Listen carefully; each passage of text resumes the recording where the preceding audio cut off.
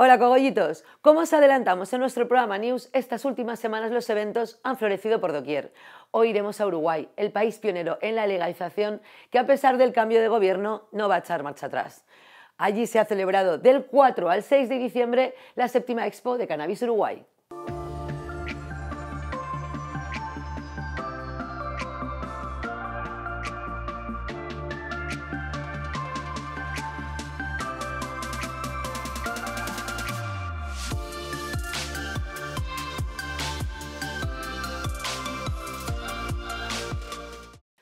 Expo Cannabis Uruguay ha sido la primera feria canábica que se ha celebrado presencialmente tras el inicio de la pandemia.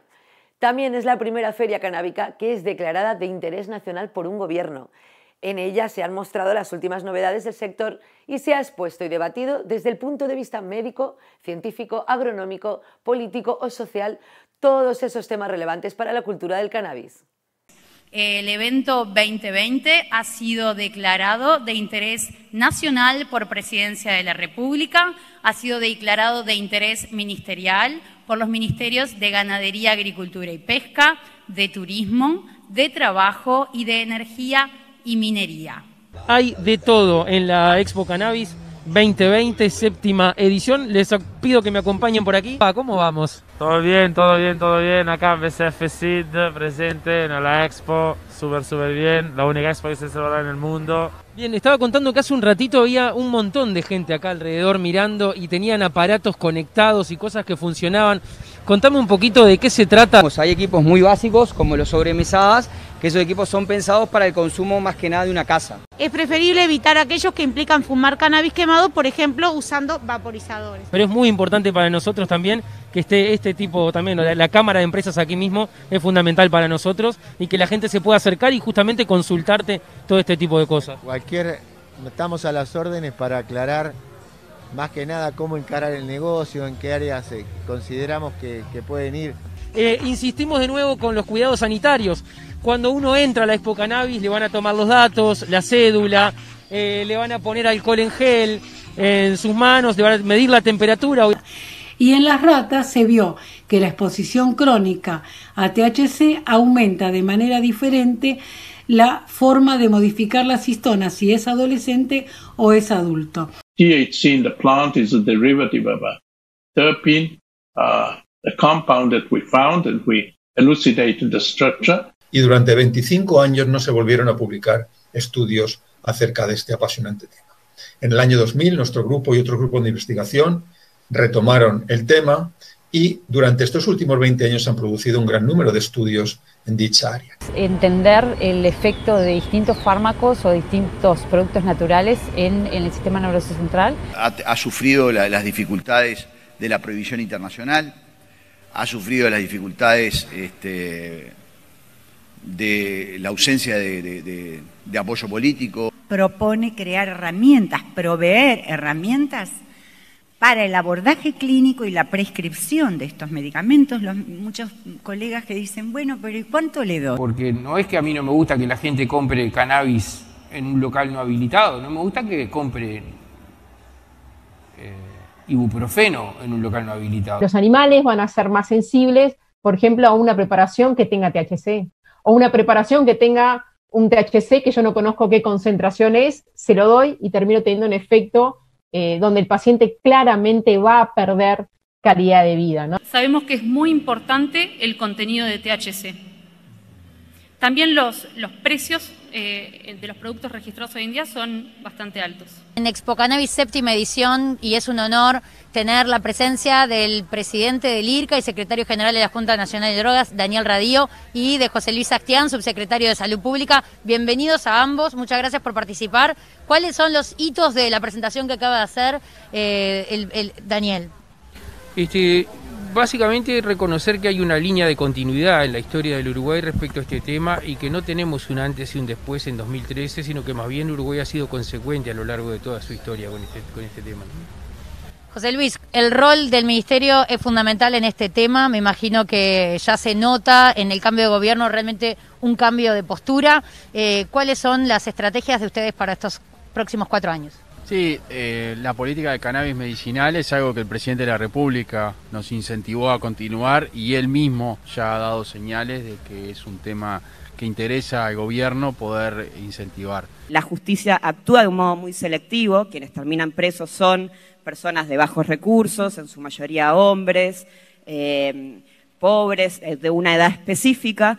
Algunos hablan de, cómo va a evolucionar este, la sociedad global en general al consumo de, otros productos, ¿no? como eh, los textiles, los aceites de, uso diario y demás. Y entonces hay poca claridad en comparación con otra cantidad de rubros de cuál es el, el horizonte claro. Ya la discusión pasa en el cómo hacerlo, en el cómo corregir aspectos. Hay mucha discusión técnica, mucha discusión jurídica, mucha discusión económico-productiva, pero no tenemos que olvidar que los procesos de cambio y de legalización de cannabis en particular son procesos eminentemente políticos.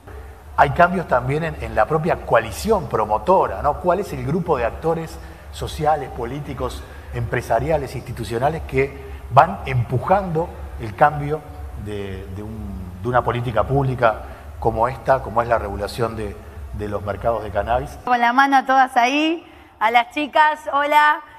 Nosotros, con este cultivo colectivo, desde hace ya ocho años, decidimos visibilizarnos y exponernos y utilizar esta exposición como nuestra herramienta de protección ante el estilo de vida que elegimos. Que se vaya de una vez esta pandemia y podamos y no solo eso, ¿no? Hasta poder volver a abrazarnos, que ya ni eso se puede.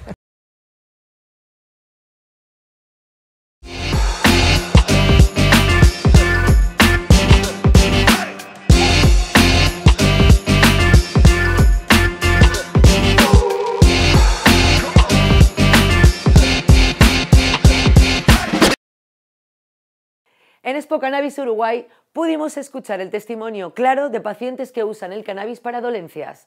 Lo veremos en nuestro próximo programa News. También si os interesa el cannabis terapéutico y sus usos, podéis participar en el consultorio online que realizaremos cada 15 días junto a la doctora Sara Chinelo y el programa de cannabis medicinal de Smoking Map en nuestro canal Verde Medicina, y en el que van a haber muchísimas novedades, así que os esperamos.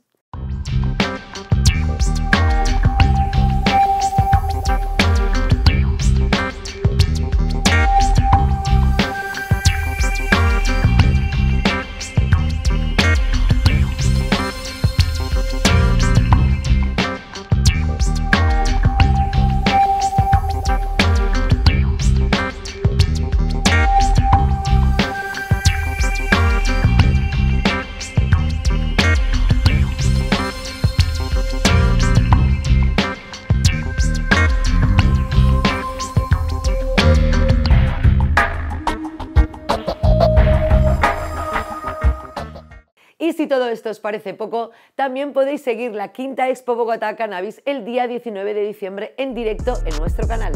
Y últimamente en Colombia hay un par de compañías que se están enfocando en eh, investigación precisamente en el área del COVID-19, que es la enfermedad pues, que nos tiene y la pandemia que nos tiene a todos en casa y aislados, la razón por la que no nos vemos, nos podemos ver en vivo y en directo en Bogotá, pero eh, es un área importante a investigar, pues porque los cannabinoides tienen un potencial interesante desde el tipo de tipo antiinflamatorio que pueden ser potencialmente útiles en el tratamiento del COVID-19. Somos una empresa que se dedica a la producción de semillas feminizadas y a la creación de nuevas variedades buscando diferentes perfiles químicos y buscando satisfacer la demanda de la industria medicinal emergente y semillas para el autocultivo, ya que en nuestro país es legal cultivar hasta 20 plantas para uso personal. Somos una empresa que cuenta con licencias de cultivo de cannabis psicoactivo, con las modalidades de producción de semilla para siembra y de investigación científica. Cuidado con los riesgos para la salud. Estoy viendo cartuchos disueltos en MCT, en aceite de coco. Y aspiramos el humo que salga de ahí. Eso es lo que estamos haciendo cuando metemos un cartucho de líquido con MCT en un cigarrillo electrónico, amigos. Y ahí viene el EVALI, que es como se llama la pandemia que ha habido en Estados Unidos, la enfermedad pulmonar aguda por consumo de cigarrillo electrónico, de e-liquid. Cuidado con eso. No podemos utilizar en un e-liquid cualquier cosa. La semana que viene os contaremos todo sobre los últimos eventos, como la cosecha CAP en Barcelona, la Volcana Lanzarote o Expo With Hybrid, que se celebró de manera semipresencial. Estamos hablando de que si ya vas a llevar tus flores a un nivel de competencia como es una Copa, Copa Nacional, pues lo ideal es que entregues tus mejores flores, ¿no? Simplemente vamos a hacer un registro en imagen también. Entonces, si por cualquier cosa eres el ganador, pues te gustaría ver seguramente la mejor flor en un catálogo con una bonita foto, con tu ficha técnica entonces para que puedas apreciar y puedas saber, y, principalmente para la copa, para que se quede un registro de aquí a 10 años que se siga haciendo esta copa, pues entonces ir viendo ahora sí, este, de manera científica, ¿no? Los cambios que han habido de entre un año a un año nuevo, a un año nuevo, inclusive con algunas genéticas que ya se presentaron aquí, hay que ver cómo se van a presentar ahora el año que entra para poder checarlas, ¿no? Y poder comparar entonces como cultivador también qué tanto has trascendido, ¿no? Sí, de hecho, eh, eso también es muy interesante. Hubo varios eh, que, compitieron el año pasado y este año volvieron a competir y yo ya vi de esos competidores ganadores, ¿no? O sea, que yo espero que para una tercera edición suceda todavía más, ¿no? O sea, sí, sí es algo que, que los cultivadores se, llevan de aprendizaje de, de, las copas y ya veo que empiezan entonces a aplicar esos este, cambios para eh, en una nueva competición, ahora sí mostrar las mejorías, ¿no? Y que creo que eso también es lo bonito de este tipo de eventos. Put the needle on the record.